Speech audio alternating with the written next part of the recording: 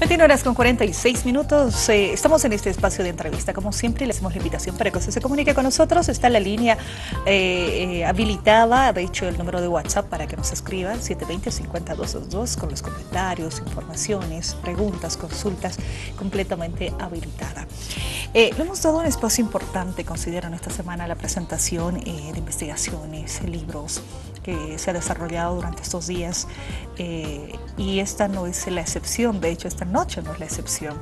Eh, es un gusto para mí que nos acompañe el autor del libro. Se denomina Antes y después del referéndum, política y democracia en el Estado plurinacional. Hace instantes se presentaba esto de eh, Fernando Mayorga. Está con nosotros hoy en los estudios. Quiero darle la más cordial bienvenida. Fernando, un gusto. Buenas noches, bienvenido. Yo le decía que bueno entrevistarnos así en directo, ¿no? bienvenido. Buenas noches, es un gusto estar aquí contigo para conversar sobre los tópicos de este libro y siempre es un placer estar en tu programa. Muchísimas gracias. Esto se, se, realiza en el marco también del eh, Centro de Estudios Superiores Universitarios de la Universidad Mayor de San Simón de Cochabamba. De hecho, ya se presentó allá en Cochabamba esto.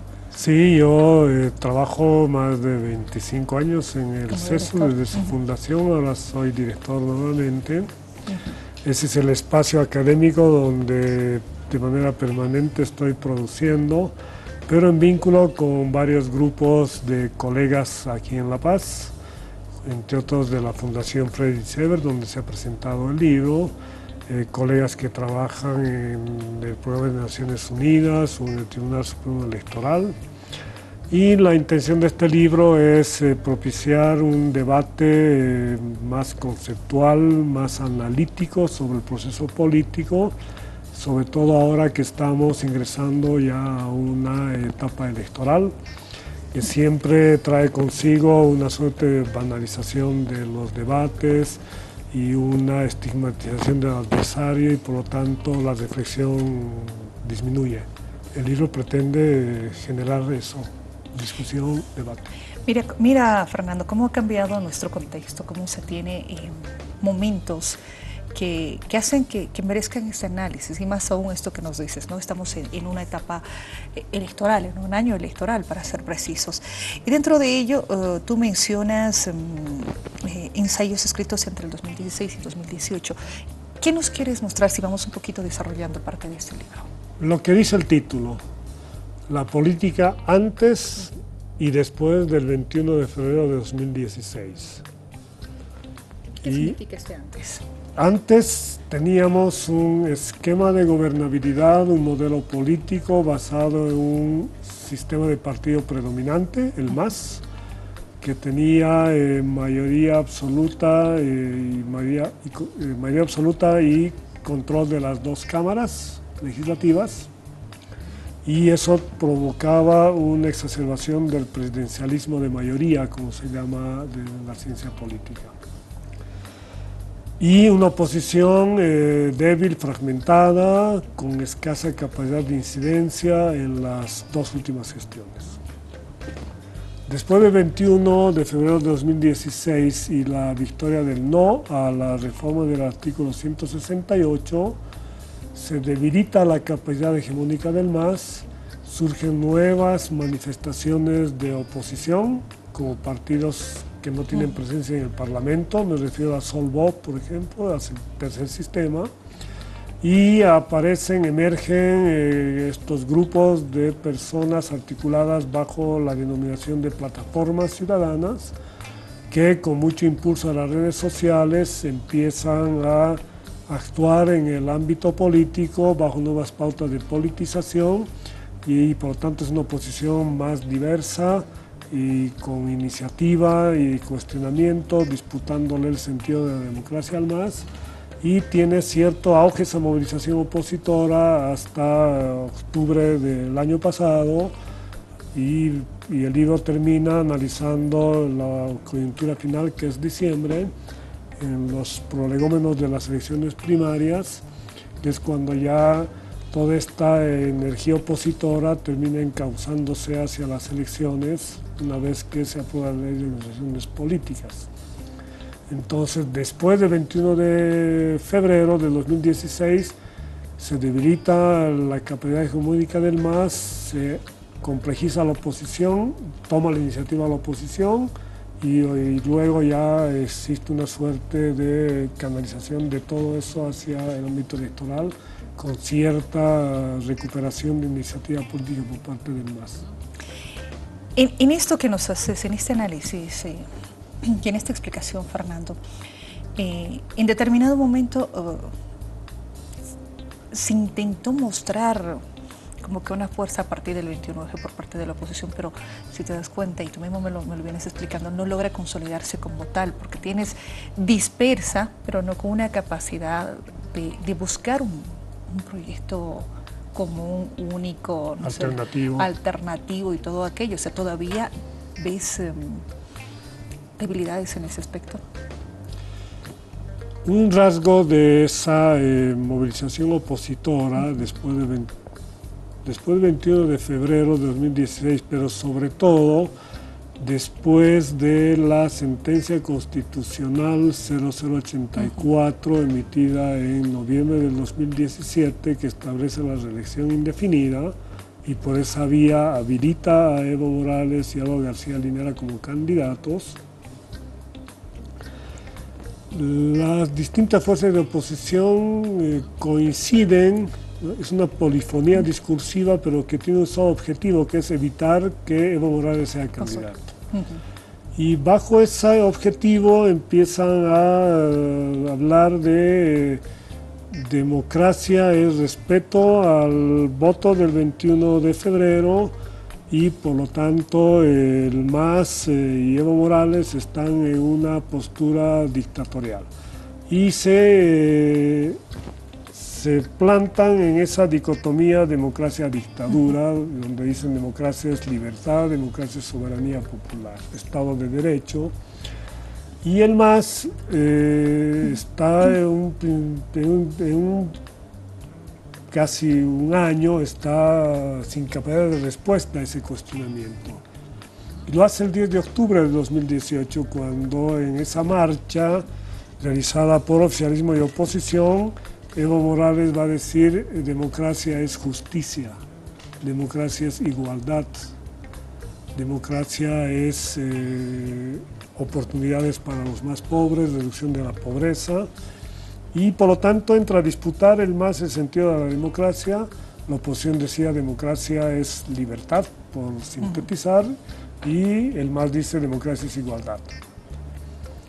Y y la oposición se queda enmarcada, las diversas fuerzas de oposición se quedan encuadradas en ese discurso y todavía siguen varias de esas fuerzas opositoras en ese discurso y eh, seguramente a medida que nos acerquemos a las elecciones de octubre empezarán a surgir ya propuestas alternativas eh, respecto a lo económico, a lo social.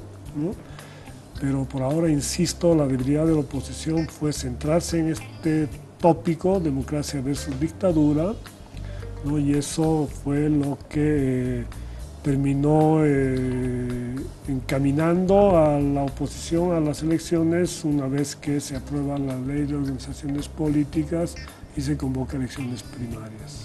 ¿Los madrugó en determinado momento? Es muy importante tu reflexión porque está poniendo en el centro de la reflexión la importancia del tiempo en la política. Eh, manejar el tiempo en la política es decisivo, el ritmo, ¿no? en qué momento se toman decisiones. Y sin duda el MAS cuando aprueba la ley de organizaciones políticas, merced a los dos tercios que tiene en la Asamblea Legislativa Plurinacional, adelanta el tiempo político, obliga a que los opositores tomen decisiones, que a los meses, el 6 de octubre, se proclama como candidato, y con eso empieza la electoralización de todas las fuerzas opositoras. Eh, eso se llama eh, tomar iniciativa política. Si puedes utilizar tú esta metáfora de madrugó, pero en Sí, no porque era previsible, porque estaba la ley en discusión, ¿no? lo que no se sabía el tiempo de su implementación. y eh, al, retomar el mal la iniciativa política y obligar a que tomen decisiones sus adversarios, obviamente los adversarios toman decisiones eh, bajo una suerte de restricción temporal y quedan obviamente en desventaja. Es un tema de, los tiempos que dices muy importante, eh, Fernando, porque se tienen que tomar las decisiones en el momento preciso, ¿no? y cómo se tiene que planificar en, el ámbito de la política. Eh, yéndome ahora hacia, hacia el movimiento al socialismo, reconoce el movimiento al socialismo su debilidad en el manejo del 21F. Y le ha tomado también un tiempo poder eh, asimilar. asimilar y salir a partir de ello. ¿Lo está haciendo ahora? La primera reacción eh, fue de rechazo al resultado bajo el argumento de que hubo una campaña mediática eh, que influyó en el comportamiento electoral. Pese a que es un resultado muy ajustado, yo en el libro insisto en que no hubo polarización en la sociedad boliviana, solamente entre los actores políticos. Si tú te acuerdas, si se acuerda toda la audiencia, ese día, domingo 21 de febrero, fue un día muy tranquilo. Las campañas fueron muy tranquilas, no había efervescencia, nadie se ponía la camiseta para pelear por el no o por el sí, cosa que no se notaba en las redes sociales donde sí parecía un incendio. Pero después la gente estaba tranquila, y el voto favorable al no, con esa escasa diferencia, fue por el más asimilado de manera obviamente negativa porque fue una derrota, pero voy a buscar otras vías legales para lograr su propósito, que es la habilitación de Evo Morales. Y eh, sobre esa base han utilizado los recursos institucionales a su a su disposición, como es tener dos tercios en la Asamblea Legislativa y de ahí viene la aprobación de la ley de organizaciones políticas. Paralelamente, lo que te decía es eh, esta búsqueda de recuperar lo democrático como parte de su discurso. Antes del 21F, ¿quién representaba lo democrático en Bolivia? Era el MAS. El MAS era sinónimo de inclusión, participación, mayorías, presencia de mujeres, de indígenas, y después del 21F la oposición se apropia del valor democrático. Y el más, insisto, el 10 de octubre dice, no, la democracia es igualdad, la democracia es justicia, y entra a disputar. Y esa creo que ha sido la respuesta, y parte de eso es el Seguro Universal de Salud, ¿no? Y creo que va a ir mostrando varias de estas eh, posturas, porque en, este libro reitero una idea que yo de manera permanente he utilizado para caracterizar el estilo político de Evo Morales y que es la eh, explicación de su éxito electoral, de cuatro victorias electorales con mayoría absoluta, tres elecciones presidenciales y el referéndum revocatorio. Y este estilo político lo resumo en una combinación de retórica radical y decisiones moderadas. O sea, puede ser un discurso radical, sí, veo tu cara de sorpresa, porque parece una contradicción. Evo Morales, o el MAN dice refundación de Bolivia, Estado plurinacional, el pasado republicano era negativo, sin embargo, Evo Morales va a decir eh, Agenda Patriótica del Bicentenario 225, celebremos la República, por ejemplo, continuidad histórica. En la nacionalización, ¿qué decían eh, los otros dirigentes sindicales como Felipe Quispe, Jaime Solares, Alejo Vélez? Nacionalización sin eh, indemnización, expropiación y expulsión de las empresas extranjeras. ¿Qué hace Evo Morales? Apoya el referendo, convocado por Carlos Mesa, y luego nacionaliza de manera, como mismo Evo Morales decía, de manera legal, modificando los contratos con las empresas, invirtiendo de 20 a 80 los ingresos para el Estado. En el tema de la Asamblea Constituyente, el país estaba ahí sí polarizado, dividido entre quienes decían autonomías departamentales versus autonomías indígenas, que el Estado plurinacional. ¿En qué termina? En una amalgama, en la combinación de las dos autonomías. Y Evo Morales lo sintetizó eso de manera muy clara en una entrevista radial cuando le preguntaron qué opinaba de esta contradicción entre lo indígena y lo regional, lo andino y lo oriental. Evo Morales dijo, no, no, originarios somos todos. Estamos los originarios ancestrales y están los originarios contemporáneos.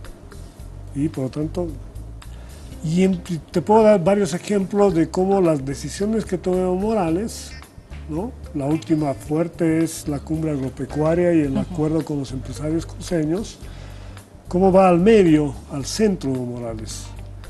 Y esa es la única explicación por qué en cualquier sociedad un candidato puede tener mayoría absoluta de votos.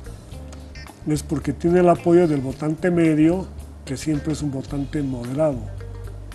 Entonces, en esta elección ese es el desafío de los candidatos más importantes de cautivar a ese votante medio. Como que están buscando todos a ese votante medio decisivo. Es, el, es el votante que no vota ideológicamente, que no vota porque tiene la camiseta puesta o ya tiene un candidato preferido, sino que hace un balance de la situación y decide. Hay un grado de autonomía en el ejercicio del voto ciudadano.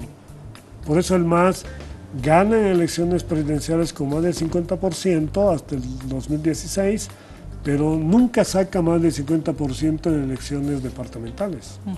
Esto muestra que históricamente eh, la mayoría del MAS es circunstancial cuando Evo Morales es candidato. Mayoría absoluta es con Evo Morales. Nunca es cuando la elección en otro escenario y en otro nivel.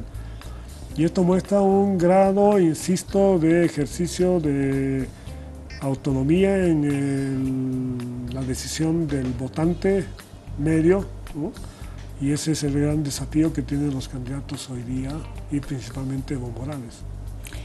Las redes sociales, y lo decía, si bien el, el 21 de febrero del 2016 teníamos en las calles esa tranquilidad, las redes sociales pues mostraba lo, contrario. ¿no? Reconoce el MAS su debilidad en ese sentido, buscado fortalecer aquello. Pero hoy en ninguno de los partidos, organizaciones políticas va a dejar de lado ese aspecto y de hecho eh, es un escenario también ahora decisivo eh, y sobre todo va a, ser, va a ser visible este 2019 también para las elecciones. No, sin duda.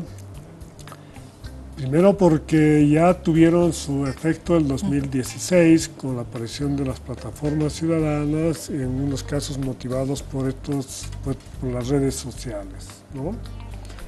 Segundo porque ya hay ejemplos internacionales de la influencia de redes sociales en elecciones. Eh, en la elección norteamericana la importancia de Twitter, en la elección brasilera la importancia de WhatsApp. ¿no?